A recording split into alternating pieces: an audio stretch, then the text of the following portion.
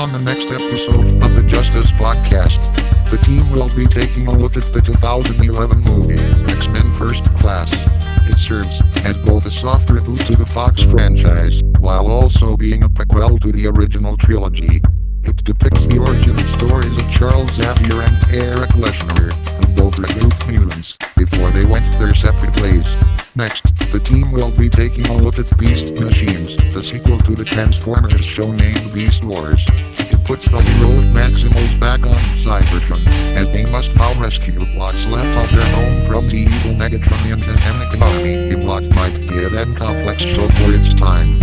And finally, the team will be taking a look at Power Rangers Dino Charge. This was the third Sentai adaptation under the Neo Saban, and it was one that fans were generally happy with at the time.